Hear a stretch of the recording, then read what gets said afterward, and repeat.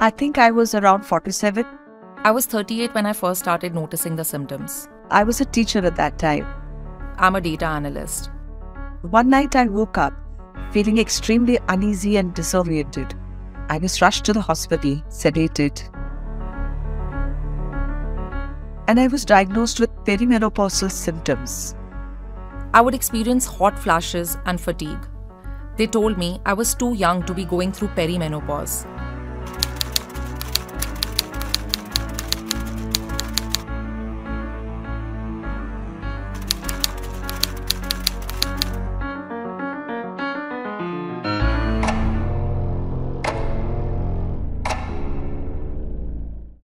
I just kept going. But then, when I turned 41, the symptoms hit me like a truck.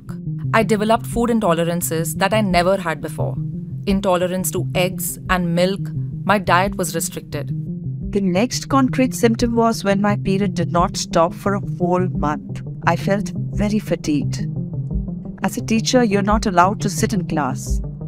And spending five odd hours a day on my feet, teaching and managing class after class was a difficult ordeal. This went on for four months. People think of menopause as a rite of passage, a minor inconvenience.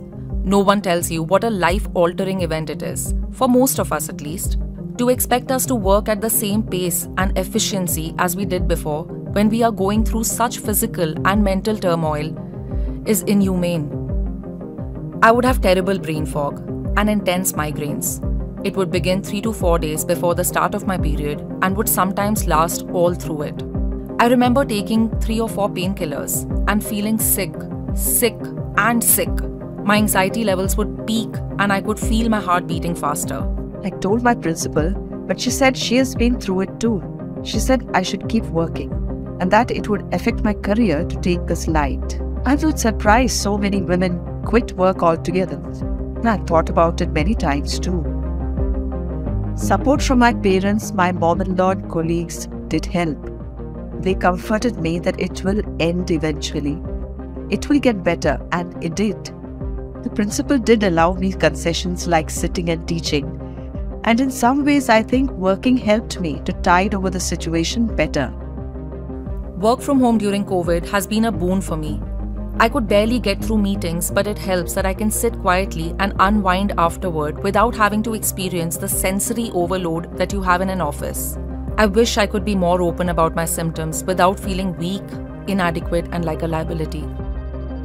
If the companies really want to prevent the leaky bucket, the age bracket in which many women fall off the workforce,